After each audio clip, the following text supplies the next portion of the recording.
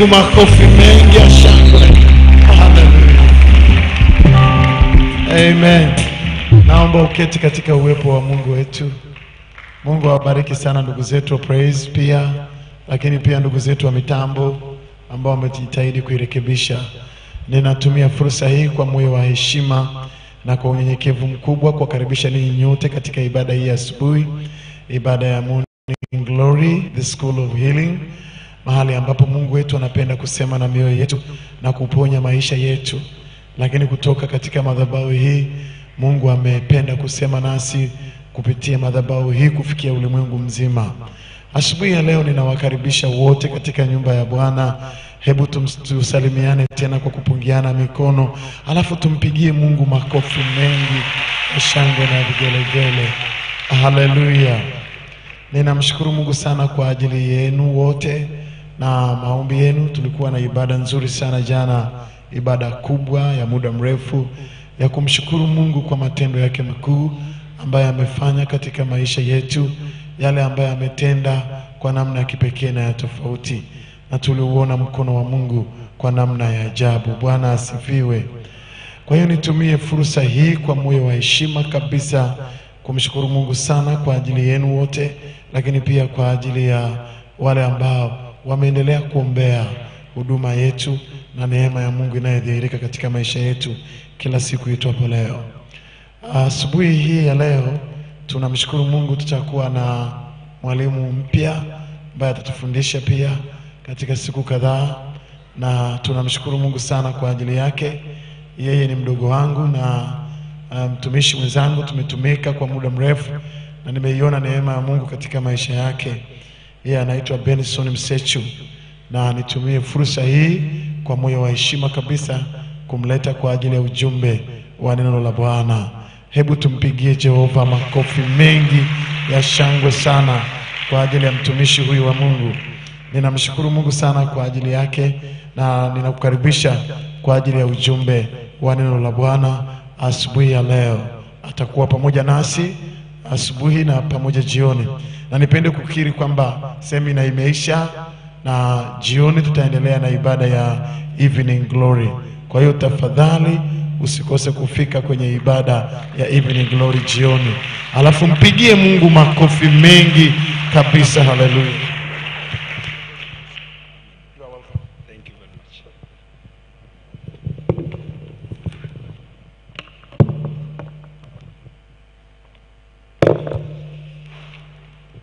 Bwana Yesu asifiwe sana.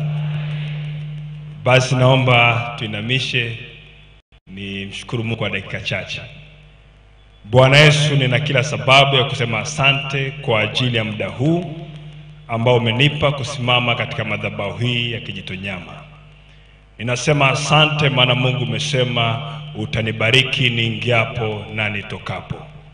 Nina kila sababu ya kulimidi jina lako, na kwa sababu ya gano la damu ya Yesu Kristo, nina kila sababu ya kusema asante, maana nguvu zako ziko mahali hapa ili kuweza kutudumia Katika jina la Yesu Kristo, naomba damu yako kapite kwenye masikio yetu, mikono yetu na miguu yetu, ili unaposema tukapate kusikia kile ulichokusudia tusikie.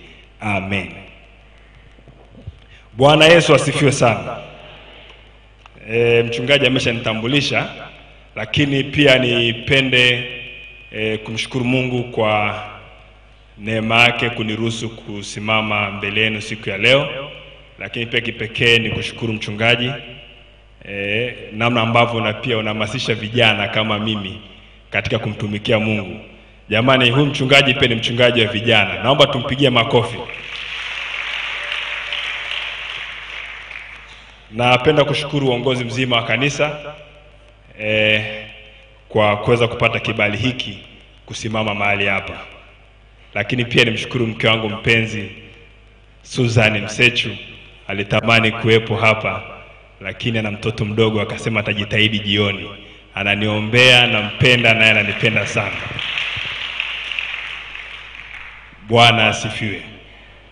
Basi ninaomba tuingie moja kwa moja kwenye somo letu ambalo nguvu ya agano la damu, the power of the blood covenant, nguvu ya agano la damu.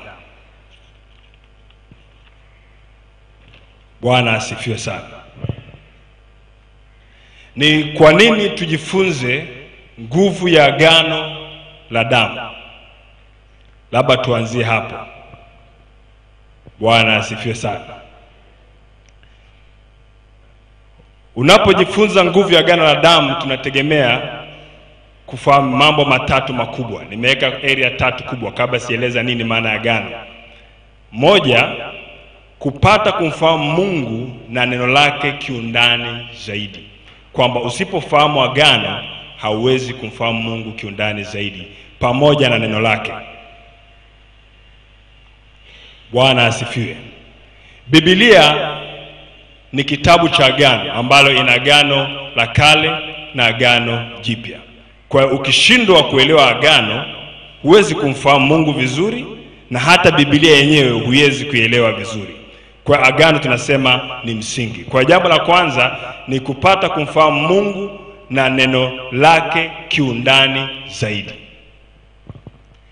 Jambo la pili, jambo la pili ni kwa sababu Mungu anashughulika na mwanadamu kupitia agano lake. Jambo lote ambalo Mungu analifanya anafanya kupitia kwenye agano lake. Tuko pamoja? Kwa sababu Mungu anashughulika na mwanadamu kupitia agano lake. Lakini jambo la tatu ni kupata kujua nafasi yako ndani ya Kristo, kupata kujua nafasi yako ndani ya Kristo. Bwana asifiwe sana. Tunaposema agano la damu maana yake nini? Au unaposema agano maana yake nini? Kwa Kiingereza naita covenant. Nini maana covenant? Agano ambalo hili nalizungumzia ni zaidi ya mikataba ambayo tunaifahamu, labda mikataba ya kibiashara. It is more than that. Bwana asifiwe sana. Agano linaunganisha pande mbili, pande mbili wanapoungana na kuwa kitu kimoja, ambapo unaweza kusema kwamba kwa hadi hapo unaweza kusema inafanana na mkataba au contract, lakini kwenye agano tofauti yake, hizi pande mbili zinapoungana huwezi ukauvunja. Njia ya kuvunjika kwenye agano ni kifo. Tunasema kutoka kwenye agano ni kifo. Bwana asifiwe sana. Na kibiblia, kibiblia kwenye agano unakuta inaendana na kiapo. Kunakuwa kuna kiapo ndani ile agano, kuna kiapo, lakini pia kuna sheria ya agano. Bwana Yesu asifiwe. Bwana Yesu asifiwe. Kwa agano sio kitu kirahisi ambacho unaweza ukasema naingia leo alafu kesho natoka. Sasa kwa lugha ya Kiebrania wanakiita berith. Berith ni B E R I T H. Berith, original language yake berith, ambayo ina maana ya kuungana au kuunga, kuungana na kitu e, na kitu kuwa kitu kimoja, kuunganisha vitu vinakuwa kitu kimoja. Lakini maana nyingine maana nyingine ya agano e, ni kama ina suggest nisema to cut kwa Kiingereza to cut, maanake unajikata alafu damu inamwajika, ndio maana ya agano kwenye kwenye kwenye kwenye Kiebrania kwenye lugha ya kibiblia ile mwanzo asili kabisa, maanake ni to cut. Kwa hiyo maanake e, damu inapomwajika tunasema e, ina, ina suggest pale damu inapomwajika agano ndipo linapofanyika. Kwa hiyo tunaposema agano la damu, maana yake lina involve nini? Damu. Bwana asifiwe. Tunaelewana? Sasa tusome mistari michache ambayo tutaenda nayo muda mrefu kutafakari kwenye ile agano. Yohana ule mlango wa sita mstari wa hamsini na tatu. Yohana sita hamsini na tatu tusome. Yohana sita hamsini na tatu nafikiri tumefika. Biblia inasema hivi: basi Yesu akawaambia, amin amin nawaambieni, msipoula mwili wake mwana wa Adamu na kuinywa damu yake, hamna uzima ndani yenu. Mstari wa hamsini na sita aulaye mwili wangu na kuinywa damu yangu hukaa ndani yangu, nami hukaa ndani yake. Bwana asifiwe. Sijui kama ushe kukaa na kutafakari hili andiko. Basi Yesu akamwambia, amin amin nawaambieni, msipoula mwili wake mwana wa Adamu na kuinywa damu yake, hamna uzima ndani yenu. The key point hii hapa, unawezaje unawezaje kula mwili wa Yesu Kristo na unawezaje kunywa damu yake? Kisha kufikiria kitu, unakunywa damu ya Yesu. Bwana asifiwe. Tusome tena Mathayo 26 mstari wa 26, tuangalie kitu hapa. Mathayo 26 mstari wa 26 eh, hadi ule wa 28 nitasoma. Mathayo 26 mstari wa 26 hadi ule mstari wa 28. Nao walipokuwa wakila, Yesu alitoa mkate akabariki, akaumega, akawapa wanafunzi wake, akasema, twaeni mle, huu ndio mwili wangu, huu ndio mwili wangu. Wa 27, akakitwaa kikombe, akashukuru, akawapa, akisema, nyweni nyote katika hiki, kwa maana hii ndiyo damu yangu ya agano imwajikayo kwa ajili ya wengi kwa ondoleo la dhambi. Kwa hiyo nataka tuangalie pia hapa mstari wa 27, akakitwaa kikombe akashukuru, akawapa akisema, nyweni nyote katika hiki, kwa maana hii ndiyo damu yangu ya agano. Bwana asifiwe sana. Wangapi wanashiriki sakramenti au meza ya Bwana?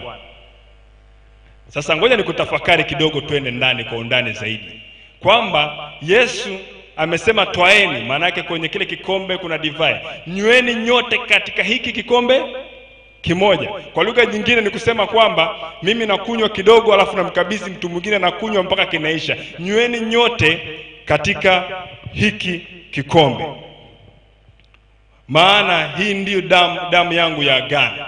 Sasa unawezaje kunywa damu ya agano? Hapo ndipo swali ambapo tunataka tujiulize, kuna siri gani hapo Yesu anaposema twaeni hiki kikombe na mnywe nyote katika hiki kikombe. Alafu kwenye Yohana tumeona kabisa kwamba mstari wa 56 Yohana 6 56, aulaye mwili wangu na kuinywa damu yangu hukaa ndani yangu nami hukaa ndani yake. Kwa hiyo ili ukae ndani ya Yesu ni lazima unywe damu ya Yesu. Bwana asifiwe sana. Bwana asifiwe sana. Sasa nataka tupate siri hapa kubwa. Kuna siri gani katika hili andiko? Kuna kitu gani katika hili andiko? Utafiti umefanyika, utafiti umefanyika. Kuna mwandishi mmoja anaitwa Kenyon, wale wanaofuatilia kwenye kitabu chake inaitwa The Blood Covenant, manake agano la damu, ambalo ameonyesha utafiti uliofanyika na bwana mmoja anaitwa Dr.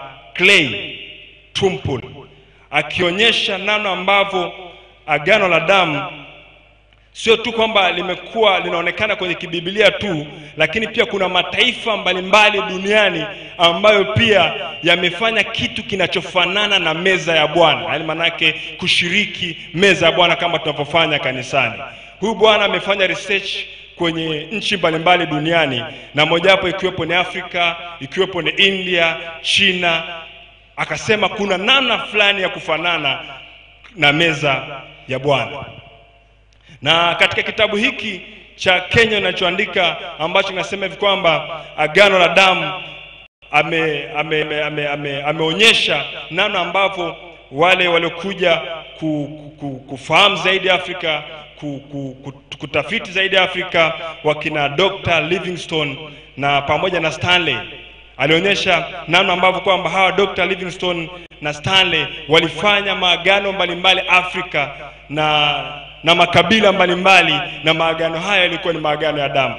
Na katika historia hii aliyosema, kipindi ambapo Stanley alikuwa anamtafuta Dr. Livingstone huku Afrika, wakati alipokuwa anakuja kumtafuta Dr. Livingstone, alikutana na upinzani wa makabila mbalimbali huku Afrika na akiwa na mwenyeji wake, kwa sababu huyu Stanley alitembea na, alitembea na mtu ambaye ni mwenyeji wake anayejua taratibu za za mila na desturi za Afrika. Wakati Stanley anakuja Afrika, alipokutana na upinzani mkubwa wa makabila na vita vikaa vikali, na akashindwa ku, kupigana na hivyo vita, ndipo yule ambaye alikuwa anatembea na na Stanley mwenyeji wake akamwambia Stanley, kwa nini usifanye maagano na haya makabila ukafanya nao agano la damu? Stanley akaona mambo ya maana, ya mambo ni ya kijinga tu, labda ni, ni, ni imani ambazo hazina hazina mshiko wote, na akakataa kutaka kumsikiliza kitu ambacho yule mwenyeji wake alichomwambia. Lakini zaidi alivyozidi kuelekea kumtafuta Stanley, akaona kabisa kwamba vita vile na yale makabila yale machifu hawezi kuvishinda hivyo vita, na mwisho wa siku Dr. eh, na mwisho wa siku sorry, Mr. Stanley aka aka- akajaribu kufikiri huyu bwana kwa nini ananiambia kwa nini tusifanye agano la damu, na yule mwenyeji wake akarudi akamwambia, ili uweze kuwa salama ni bora ufanye agano la damu na watawala wa haya makabila. Bwana asifiwe. Wangapi wananifuata? Sikutoka wanifuati. Mnanisikia vizuri? Yes, mnanisikia vizuri? Bwana asifiwe. Basi Stanley, basi Stanley aka aka aka akamuuliza yule mwenyeji wake, kwa nini kila saa unanisitiza nifanya agano la damu na haya makabila?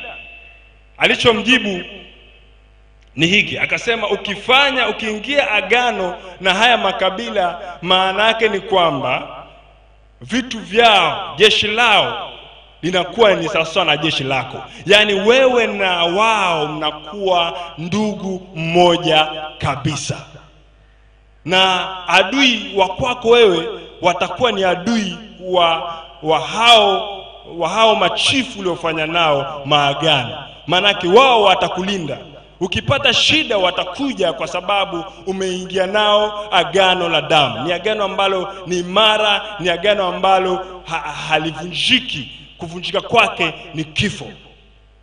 Basi kwa sababu hali ilikuwa ni ngumu, tukisema kwa lugha ya hapa, mimi nasema hali ya mtu ikiwa ngumu sana, tunasema dunia imefanya nini? Imemlemea. Maana yake sasa hauna tena njia mbadala, hauna alternative yoyote na ndipo basi Stanley akasema bora tu nifanye maagano na hao makabila.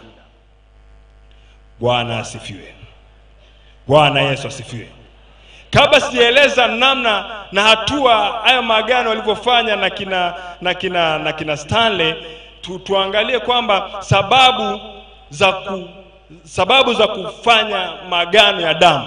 Sasa hii inazungumza kwenye historia sasa ya, ya mataifa mbalimbali, alafu baadaye nitakuleta kwenye historia kwenye kibibilia. Lengo kubwa ni kutaka kukupa msingi, kwa sababu usipofahamu siri ya agano la damu hauwezi kumfahamu Mungu na hauwezi kuwa na imani thabiti na hauwezi hauwezi kushinda kila hila na mipango ya adui. Bwana asifiwe. Huwezi kufanikiwa nje ya agano la damu, lakini sababu mbalimbali walizo e, wakina Stanley walichosema za kufanya maagano ya damu ilikuwa ni, ni pale ambapo kunakuwa kuna makabila mawili yanayopigana. Kabila moja labda linakuwa ni dhaifu na kabila lingine linakuwa lina nguvu. Kwa hiyo sasa, ili ile kabila dhaifu lisiangamie, basi wanasema tufanye agano. Tuko pamoja? Kabila lenye nguvu na kabila dhaifu.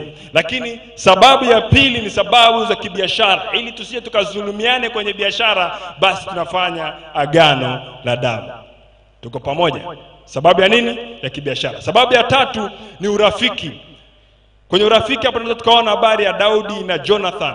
Daudi na Jonathan walipendana sana kiasi ikabidi wakafanya agano la damu. Kwenye Biblia pale imeandika covenant, lakini covenant ikichunguza ni agano la damu. Sababu ya nne ni ndoa. Tunasema ndoa ni mfano mmojawapo wa agano la damu. Bwana asifiwe.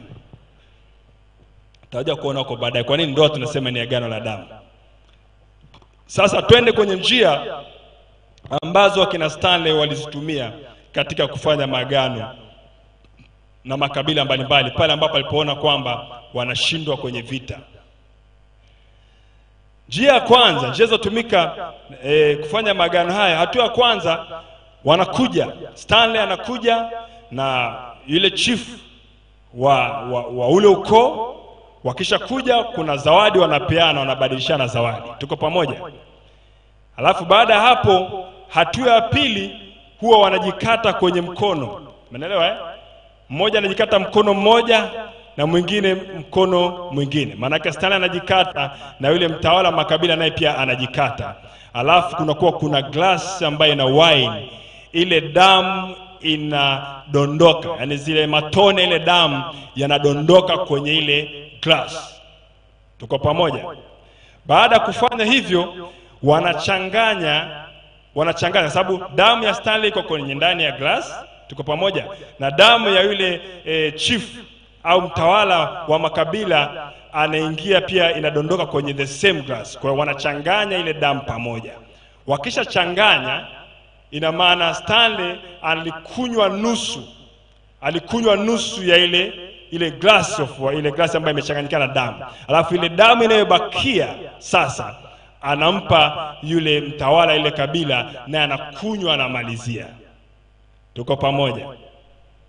Baada ya hatua hiyo kumalizika, sasa anakuja tuseme, mimi ndo Stanley na huyu ni mtawala wa kabila, wanachanganya ile mikono namna hii. Tuko pamoja?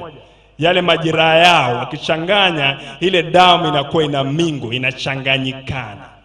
Au wasipofanya hivyo, unakuta Stanley anakwenda kwenye jeraha lile ambalo amejichanza yule mtawala, ananyonya ile damu kwa mdomo wake, alafu na the same anafanya vile vile kwa yule mtawala, kwa Stanley ananyonya. Tunasema ile damu imechanganyikana. Sasa wakishafanya hivyo, tunasema hawa ni ndugu wa nini? Ni ndugu wa damu. Tunasema kwa Kiingereza hawa wanaitwa blood brothers. Bwana asifiwe sana. Then kunakuwa kuna kuhani pale kuhani pale lazima atat, atatamka maneno ya laana endapo utavunja hilo agano, na e, wanasema kwamba laana hiyo inatamkwa hata kwenye ardhi yako ambayo unaisimamia, kwamba endapo utakwenda kinyume na agano hili, basi basi kifo ujue lazima kitakufuata, mabaya kitakufuata na wakishafanya hiyo kutamka ma, e, ma, sheria kutamka e, viapo va, va, va hilo agano e, ina maana kwamba tunasema agano hili sasa limekuwa limefanikiwa. Baada ya hapo kumaliza kwenye yale majeraha, sasa wanachukua unga mweusi kama risasi au tuseme ni mkaa, wanaweka kwenye yale makovu ya lile jeraha. Bwana asifiwe, mnanifuata? wanaweka kwenye makovu ya lile jeraha. Wakisha kwenye makovu ya lile jeraha, ile inakuwa ni alama, tunasema ni ishara ya agano. Kwa hiyo kama mimi Stanley ninakwenda, alafu wote wanataka kunivamia, hawanifahamu kwa sababu mimi ni mzungu, nikinyoosha tu kwa ule Mwafrika, ile alama hawezi kunipiga tena, maana ishara ya gano inaonekana kwenye mkono. Tuko pamoja? Bwana asifiwe.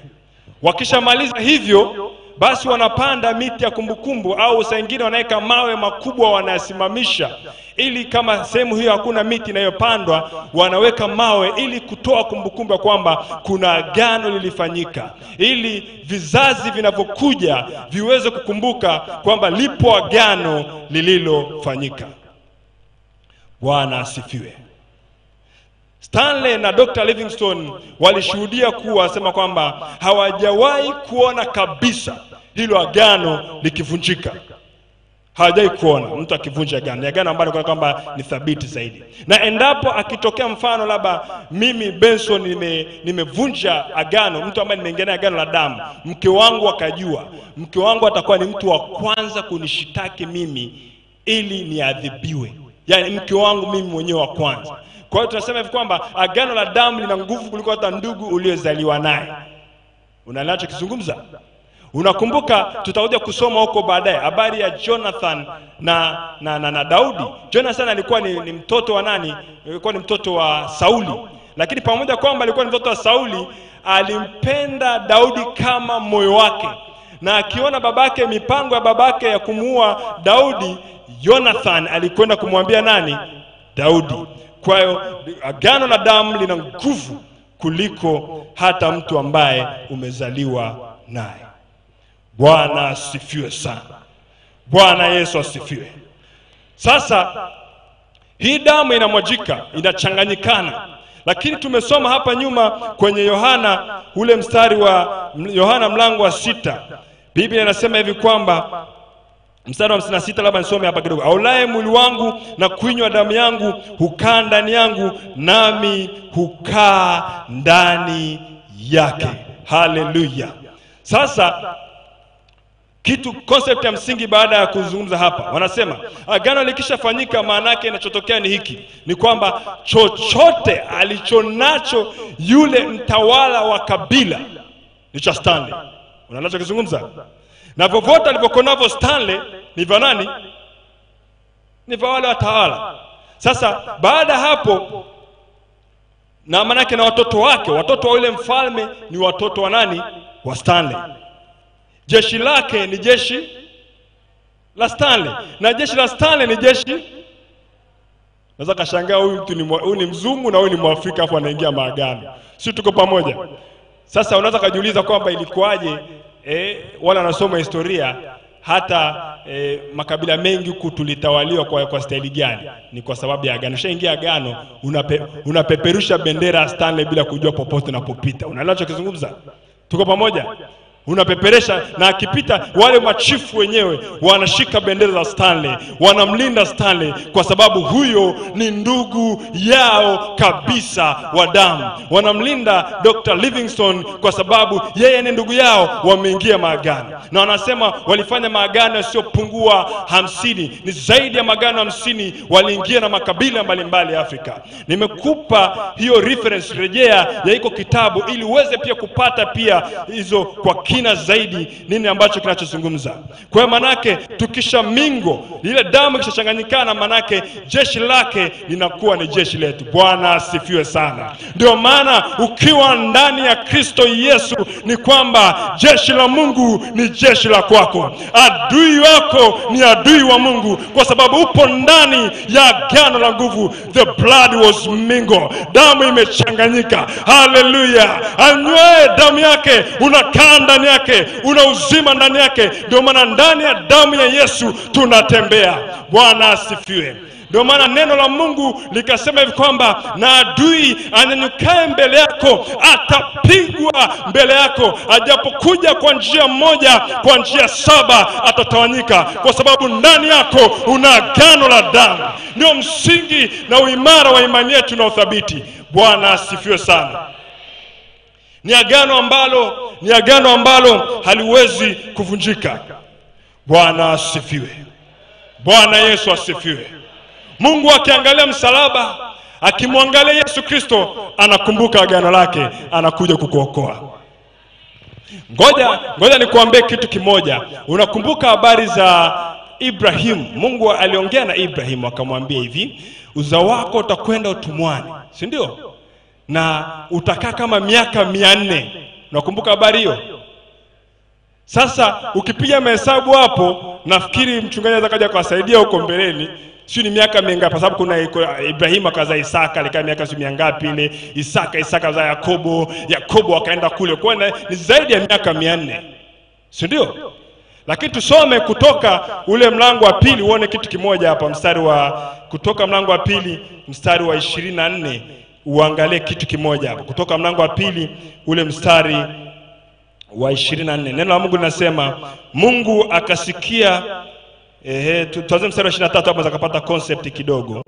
Kutoka mbili ishirini na tatu kutoka mbili ishirini na tatu Biblia inasema hata baada ya siku zile nyingi, mfalme wa Misri akafa, wana wa Israeli wakaugua kwa sababu ya ule utumwa, wakalia, kilio chao kikafika juu kwa mungu kwa sababu ya ule utumwa. Mstari wa 24 mungu akasikia kugua kwao mungu akakumbuka agano lake alilolifanya na ibrahimu na isaka na yakobo. Mungu akawaona wana wa israeli na mungu akawaangalia. Nataka uone mstari wa 24 mungu akasikia kuugua kwao. Mungu akakumbuka agano lake alilolifanya na ibrahim isaka na yakobo. The key point here. Jambo la msingi hapa. Kumbuka biblia haijasema kwamba ha, hili taifa la israeli lilokuwa kule lilikuwa linafanya linatenda haki.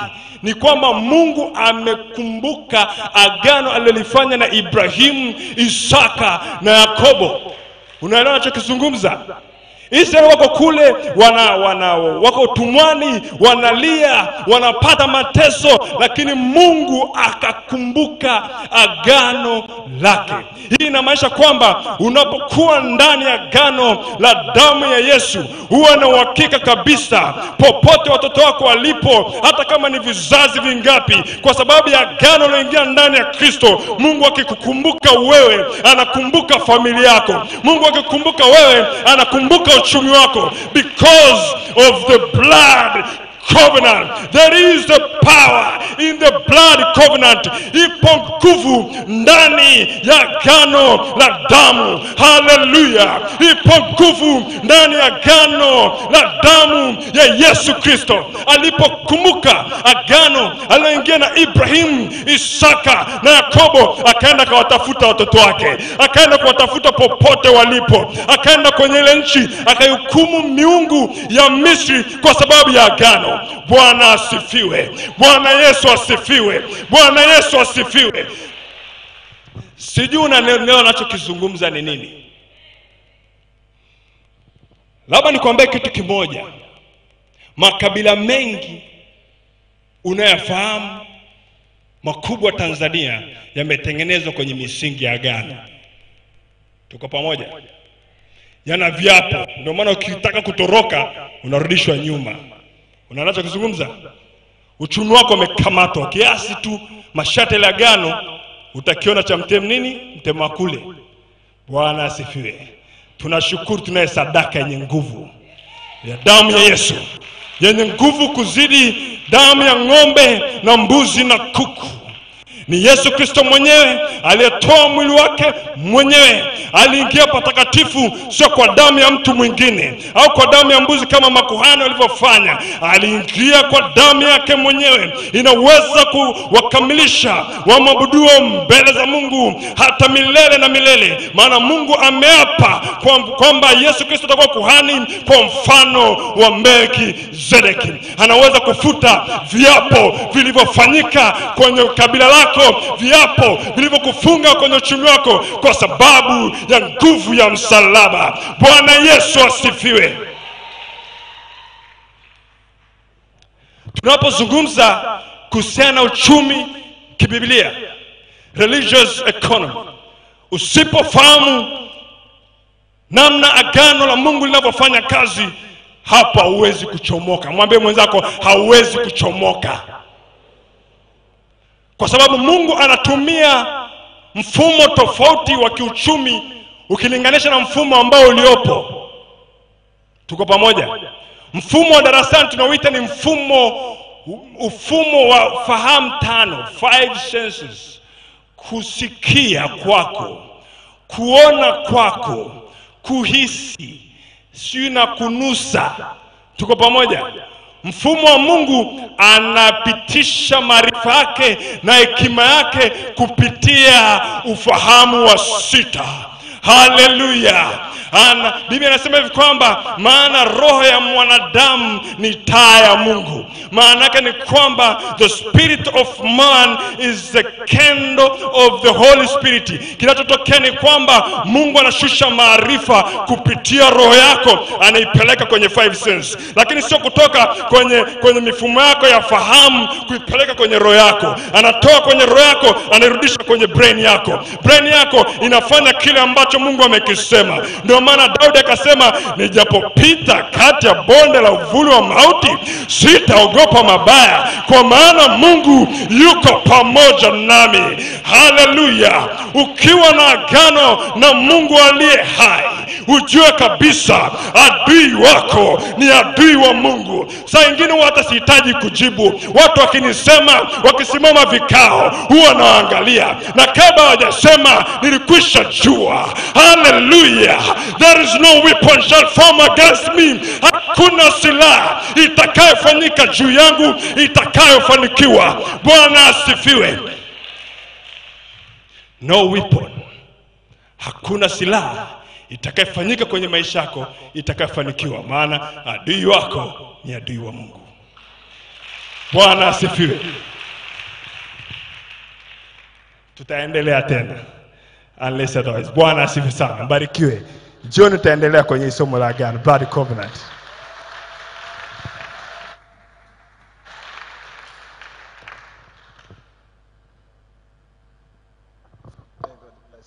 Haleluya, haleluya tena. Alafu mpigie Mungu makofi mengi ya shangwe. Mm, naomba usimame kwa miguu yako pale ulipo. Tunataka kuomba. Tunakuwa na shule ya kipekee sana kuhusiana na damu ya Yesu Kristo.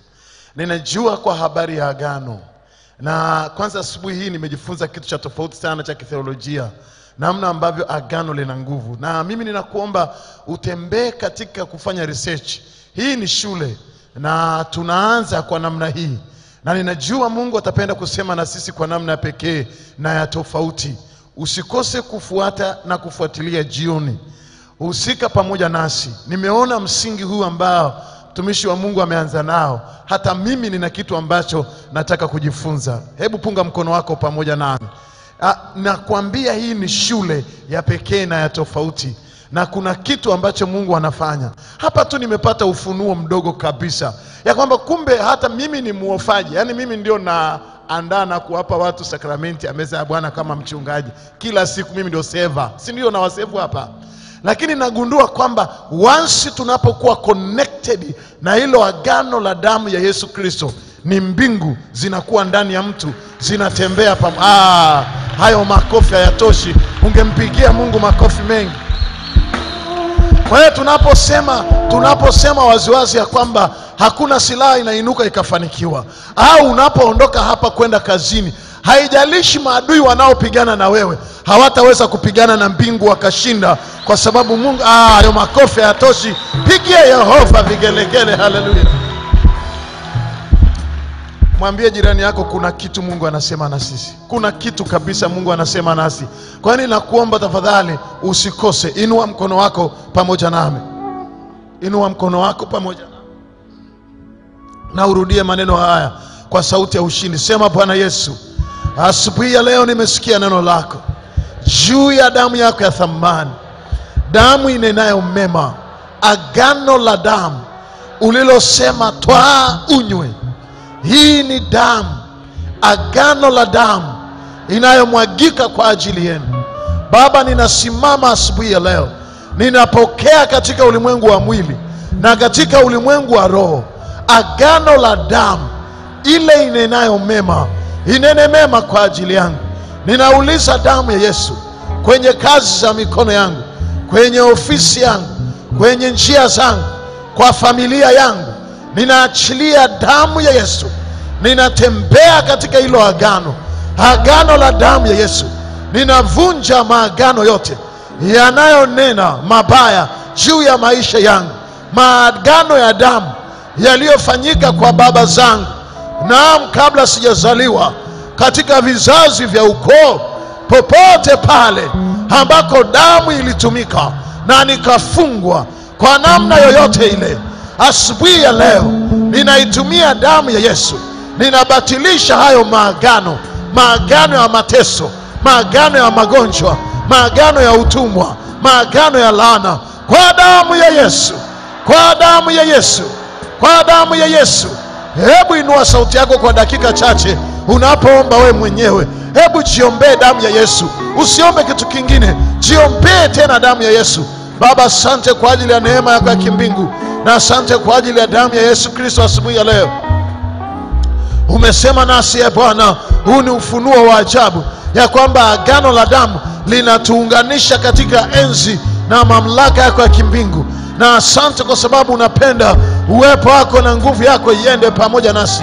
Jehova, tunawaombea watoto wako hawa, tunawafunika na damu ya Yesu Kristo inenayo mema. Uweza wako ajabu kapate kuonekana. Ninauliza damu ya Yesu Kristo katika wiki hii, tunanyunyiza damu ya Yesu katika madhabau hii, tunanyunyiza damu ya Yesu katika njia na mapito yetu, tunanyunyiza damu ya Yesu. Tunauliza damu ya Yesu, tunasema juu ya damu ya Yesu Kristo inenayo mema. Baba, usimame na nguvu zako na uweza wako ajabu. Wabariki watoto wako hivi leo. Ninaomba kwa ajili ya maisha yao, ninawafunika na damu ya Yesu Kristo. Ninatangaza gano la damu katika maisha yao. Uwepo wako ajabu uende pamoja nao. Siku hii ikawe siku ya baraka. Baba, juma hili likawe juma la ushindi. Uweza wako uende pamoja nao. Uwabarikie watoto wako waingiapo na watokapo, tangu sasa na hata milele. Jehova, naomba ulinzi wa jeshi la malaika na magari ya moto na damu ya Yesu ifunike njia zao na mapito yao. Mfalme wa amani, ninaomba kwa ajili ya dhabihu na sadaka wanazokutolea asubuhi ya leo, ruhusu damu yako ya thamani ikawanenee mema, washike na mkono wako wenye nguvu. Damu ya Yesu Kristo ikawafunike. Usikubali dhabihu na sadaka zetu, uibarikie siku hii, na damu yako iende pamoja nasi katika miguu yetu, Baba na Mwana na Roho Mtakatifu, amen. Inua mkono wako, pokea mbaraka wa Bwana. Bwana Mungu na akubarikie na kukulinda. Bwana Mungu akuangazie nuru za uso wake na kukufadhili. Bwana Mungu akuinulie uso wake na kukupa amani. Uitwe heri na mbarikiwa, na damu ya Yesu ikakunenee mema, na yote uyafanyayo akapate kufanikiwa. Adui zako akawe ni adui za Mungu. Akubariki Mungu Mwenyezi, uingiapo na utokapo, uitwe heri kwa jina la Mungu Baba na Mwana na Roho Mtakatifu. Washindi waseme amen kwa vigelegele vya shangwe. Haleluya, amen. Ninawakaribisha asubuhi ya leo kumtolea Mungu dhabihu na sadaka ambazo tumeshaziombea na kuzibariki tayari. Toa sadaka yako, hakikisha, narudia tena kama mchungaji, kuna maana kubwa kabisa ya kikanuni kuingia kwenye nyumba ya Bwana. Usifikie mahali pa kufika kufikiri kuescape au kutoroka kutoa sadaka. No, no, no, no, no, no. Hakikisha unatoa sadaka tena ukiwa unaomba, ni kwa faida ya kwako. Mungu ni Mungu anayetunza maagano na kanuni. Hakikisha umetoa sadaka, na toa sadaka yako ukiwa unaomba. Mungu akubariki sasa na hata milele, amen. Kombolewa na kombolewa na damu ya Yesu, kombolewa ah,